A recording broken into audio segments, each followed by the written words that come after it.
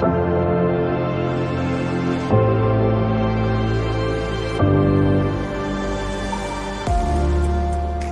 and gentlemen, I'm Brad Coyne from Kollosche. And I'm Cooper Markovic. We're here at 125 Camberwell Circuit Robina, And we've got something truly unique here with over six metre high ceilings and a beautiful Indonesian villa vibe.